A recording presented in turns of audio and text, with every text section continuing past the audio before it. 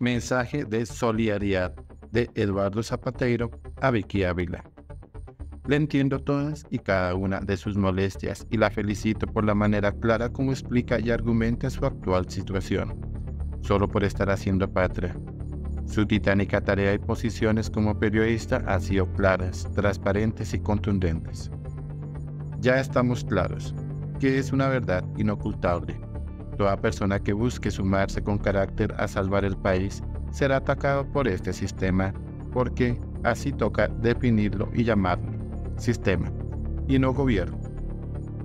También me he enterado que todo esto lo hacen de acuerdo con la estrategia de enlodar, enlodar, enlodar.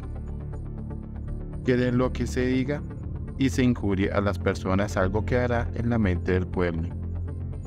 A esto es que se han dedicado toda su vida y de eso se encargan sus bodegas.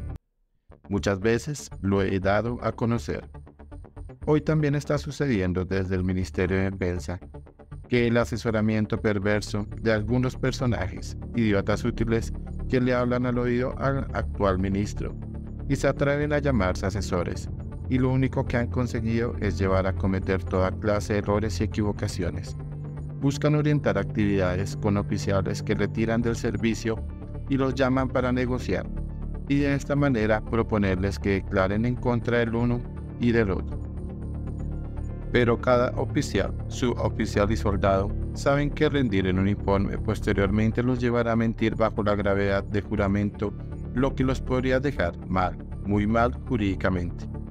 Ánimo Vicky, mucho ánimo que quienes ejercemos y hemos ejercido servicio a nuestra nación dentro de los parámetros de ordenar la constitución y las leyes y dentro del buen actuar. Tenemos que estar serenos porque es lo que nos dice nuestra conciencia.